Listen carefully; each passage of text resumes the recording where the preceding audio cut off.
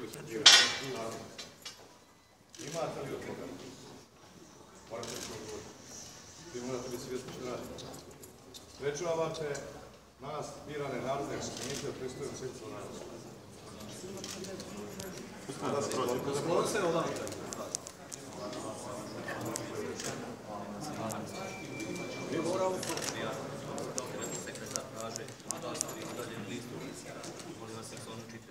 ja vam kažem da vam nalog da vi nas sprečavate. Ne dobijete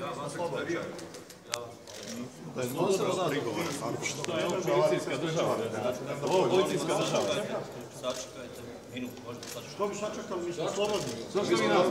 Otkud vam pravo? Imao pravo prigovora skupštine udaljenja. Je li ovo policijska stanica ovdje ili, ili, ili narodna skupština, je li? Je li ovo narodna skupština ili policijska stanica? Sam da mi pojasniš. Ajde prođite, ajde prođite.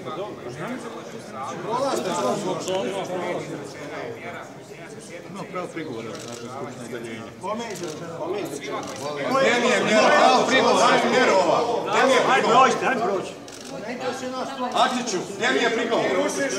Mi hoćemo prigovor da. Skupština da. Ne možete vi tumačiti poslovnik iz policije. Nemate nalog da nas zadržite, gospodine. Guraj, pričajte. Nemate nalog da nas zadržite, nemojte to da radite. Nekaj, nekaj, nekaj, e, evo pola. Nemojte se miješati. Nemojte da vas zloupotrebljavaju. Policiju ovdje zloupotrebljava Narodna skupština. Što vas zloupotrebljavaju?